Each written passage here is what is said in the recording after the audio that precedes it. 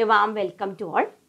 So we uh, started our gymnosperm class and we finished our first uh, session that is the general characters of gymnosperms.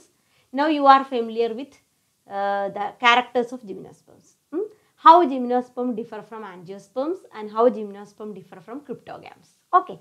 So now it is very easy uh, to study the gymnosperms if they are organized well according to their characters. Clear?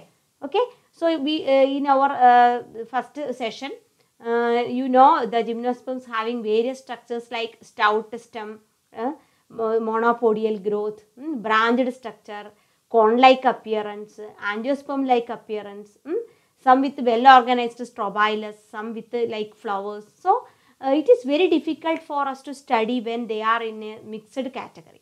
So uh, to make our study more easy, there are uh, different systems of classification proposed by uh, various scientists. Okay, so in your syllabus, you have to study the classification of gymnosperms proposed by Sporne. So K.R. Sporne in 1962 hmm, classified the whole gymnosperms into three classes. Very simple classification, very old classification into three classes. What are they? Uh, that is Cycadopsida, Coniferopsida, Gnetopsida. Okay. And each class include orders and orders are again uh, divided into families. Clear? So, and these different classes also includes the fossil members also. Clear? Gymnosperms are uh, many million years back they originated in earth that I discussed with you in the first half. Okay. So, they are the oldest group. So, some are living now okay and like cycads ginkgo etc so it is very difficult to classify them so in each category each class it includes fossilized forms as well as living forms okay so there are three classes and nine orders and 31 families according to K.R. Sporne. Okay. Now, these are the classes Cycadopsida, Coniferopsida and Gnetopsida. Okay. Look into an outline of the classification proposed by K.R. Sporne that is Cycadopsida, Coniferopsida, Gnetopsida divided into orders and uh, the Cycadopsida includes four orders then uh, the Coniferopsida again four order and Gnetopsida only one order. Okay. Now we can go into detail. So first one is Cycadopsida. So you studied uh, in your degree classes the type Cycas. So you are familiar with the Cycas. Okay.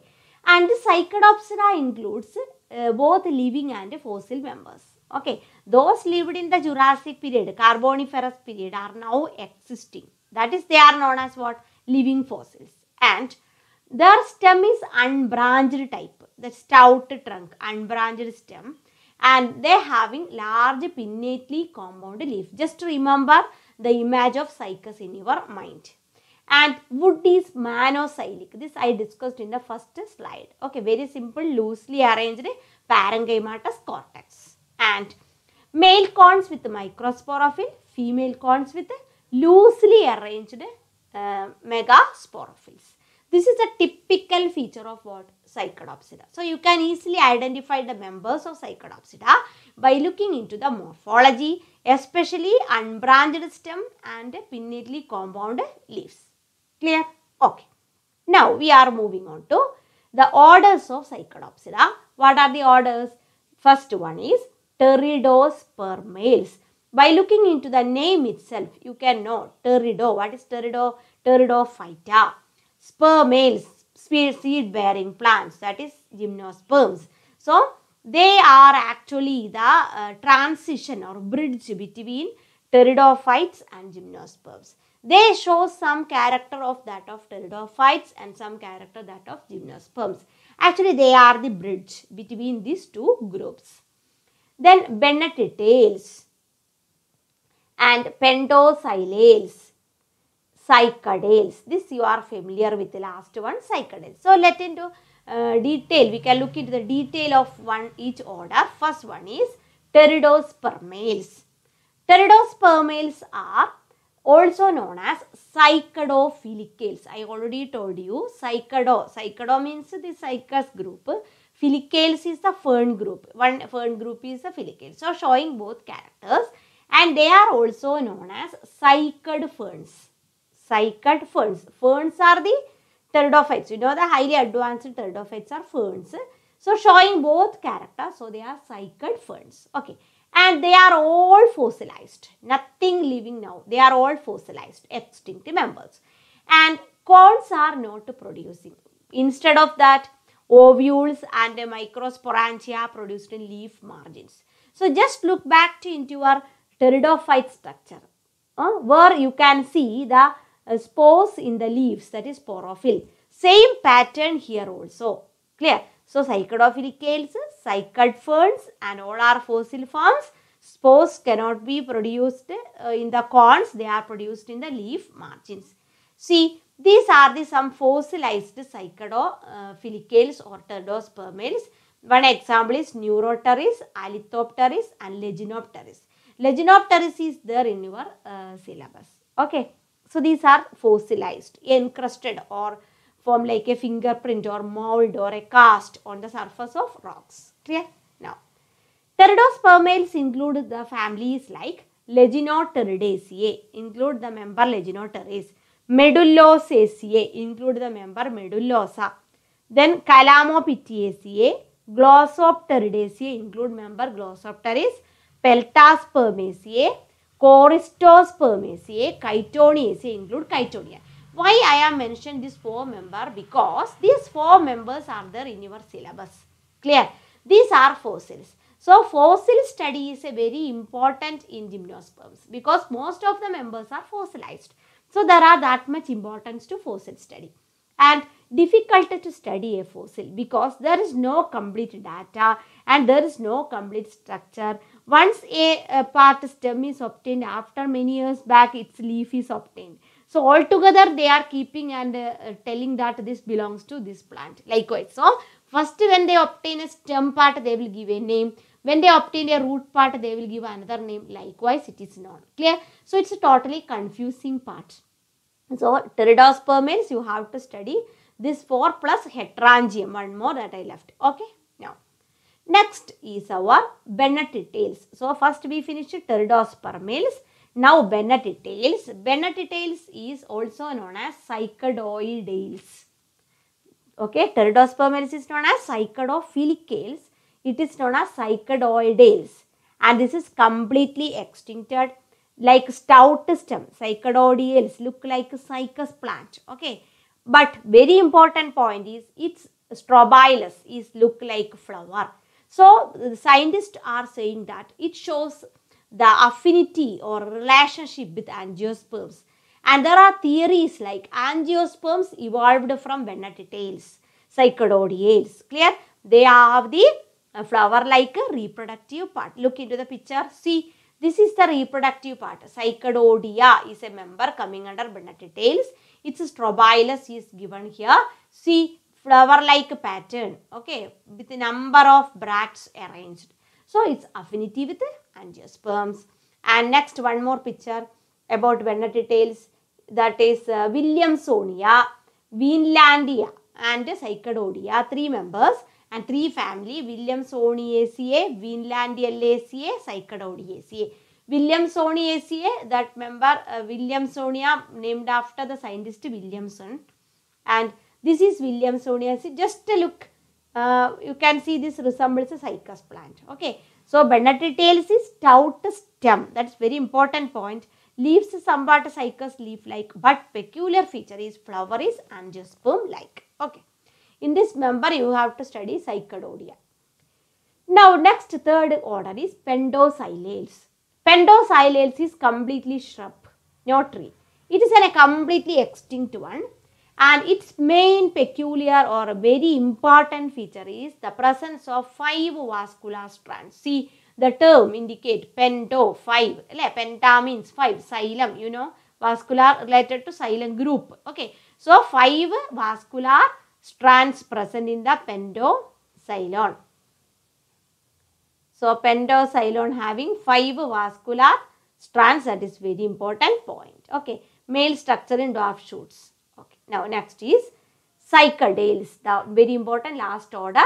This includes living fossils, living, they are now living. They show xerophytic characters and appearance is palm-like, you know, cycas plant, palm-like, compound leaves and another peculiar feature is the presence of circinate vernation. You know what you mean by circinate vernation? Coiling of young leaves like this. Young leaves coil like this. That is circinate vernation and dioecious plant. Both are in different plants, male and female. And another peculiar feature is they are living members. Clear? Cycadales. Okay. Now, see, this is the cycas plant. So, pteridospermales, tails, pentoxylales and cycadales. Four orders, each having its own characteristic features. Study well. Next. Pentoxylales include Pentoxylaceae and Pentoxylon is the member. Cycadales include Cycadaceae and two members you have to study. One is Cycas, another is Zamia. Actually, Zamia is there in the, this year's syllabus. Cycas you already studied. Okay. Pentoxylon is also there. These are the uh, members coming under Pentoxylaceae and Cycadaceae. Okay. Now, next class is Coniferopsida. Okay. So, we finished Cycadopsida, 8 orders, sorry, 4 orders and families. Now, next is Coniferopsida with the uh, characters wood pycnoxylic. What is the character of Cycadopsida? Wood monoxylic. What is pycnoxylic means? Pycnoxylic means sporophylls form cones. Sorry, uh, with dense matter, dense and thick xylem groups and cortex and uh, it is very massive. Okay. Now here in Coniferopsida, the sporophyll form cones and plant appear pyramid shape. This is the appearance of Coniferopsida plants, Christmas tree, you know. And it includes the orders, four orders, cordaitales, ginkgoales, coniferales and taxales. Chordatails, ginkgoales, coniferales and taxales. And now cordaitales. These are completely fossilized form all are extinct. And members having star-shaped leaves, that is peculiar feature. And also catkin like you studied catkin inflorescence, catkin like inflorescence. This is the uh, is a member fossil. Cordaites reconstructed. What is reconstructed? I already told you once you get a leaf part, then you get a root part. Likewise fossilized form. Then they again everything uh, uh, come mixed and they prepare a new one that is reconstruction. Okay.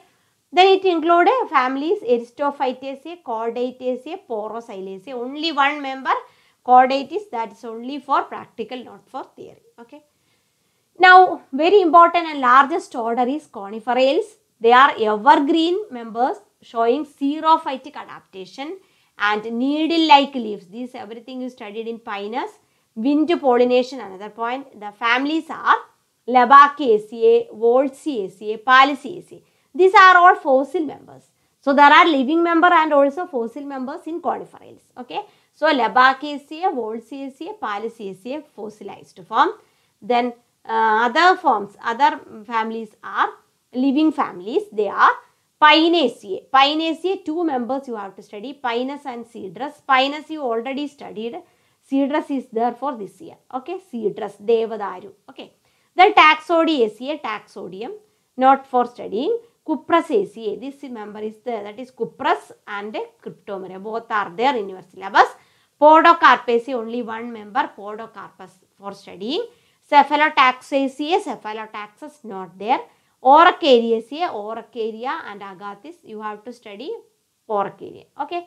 So, these are the members of coniferales uh, of various families. So, they include both the living as well as extinct forms.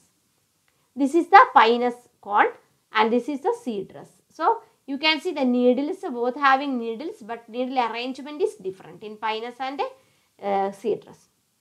Now, move on to taxales. Next order is taxales in Coniferopsida. So, taxales include only one genera taxus they are the evergreen and small trees, very evergreen, extensively branched, simple leaves. That's a very important point. And another peculiar feature is its ovules are surrounded by aril. Aril is an outgrowth from the seed. So, ovule is completely covered by aril. And its wood is like coniferal wood, pycnoxylic. Taxus is the example. This is a taxus plant. Look into the leaves that are simple leaves. This red colored portion is the aril. Okay. So the ovule is completely protected by a structure aril that is fleshy and that are eaten by animals. And next is ginkgoales. So we coniferales we finished first order conifer, coniferopsida, first order coniferales, then taxales, now ginkgoales. It is a, also a living fossil and only one genus in ginkgoales that is Ginkgo biloba, very important point. It is also known as maidenhair tree, also known as maidenhair tree. Okay, there is one maidenhair fern also in pteridophyte, adiantum. This is maidenhair tree. And leaves are bilobed leaves, dichotomous venation you can observe. Then two member one family Trichopityaceae and Ginkgoaceae. This is fossilized and this is living. This is the uh, fan shaped bilobed. See, uh, bilobed condition. This is the bilobed one here, another here. Bilobed leaf, fan shaped leaf, dichotomous venation. Very important. This plant is usually growing in the uh, China. It's well known plant and avenue tree. It is a best pollution indicator also. And next is uh, Gnetopsida. So we finished Coniferopsida.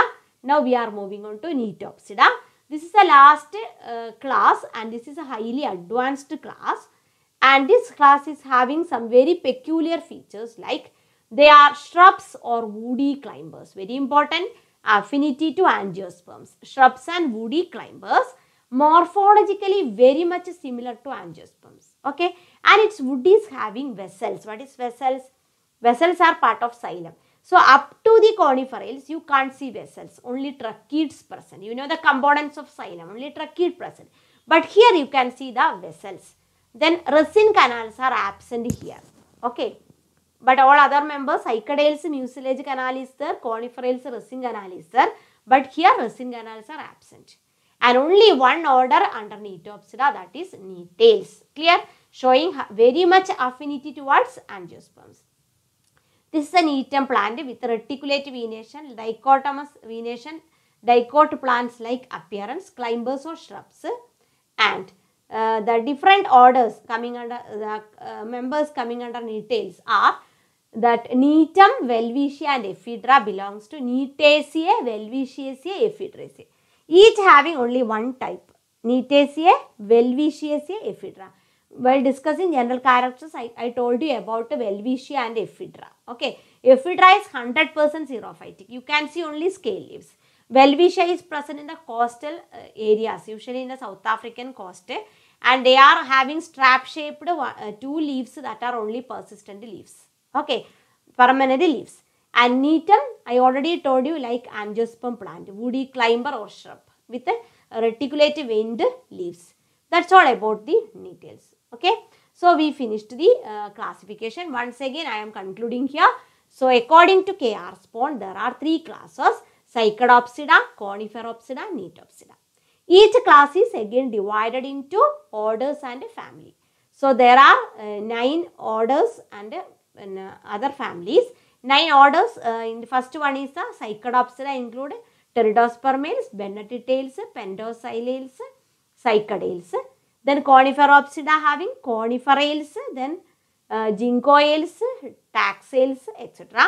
And also last one Gnetopsida having only one order Gnetales. So there are uh, fossil members in Cycadopsida and Coniferopsida. No fossil member in Gnetopsida. Clear? And uh, living members, living fossils in Cycadopsida and Coniferopsida and no living fossil in Gnetopsida. Gnetopsida is a highly advanced one. Clear? In Cycadopsida, Pteridospermales is the primitive one that connects between the ferns and gymnosperms. Okay? Then highly advanced anatomical and morphological features observed in the Gnetopsida. So you can have an evolutionary line starting from Cycadopsida to Gnetopsida. So various scientists proposed different systems of classification like Takhtajan, Cronquist, so on, different scientists. But uh, we are now following the classification of K.R. Sporne. And there is a book written by K.R. Sporne, Morphology of Gymnosperms, a small book also available. Okay. So, there are large number of fossil members that are all described in that textbook. So, I hope you understood well. So, uh, study well and draw the diagrammatic sketch and prepare brief character of each uh, class. So, this is a very important question for examination. Classification of gymnosperm by K.R. Sporne. Okay. So, have a nice day.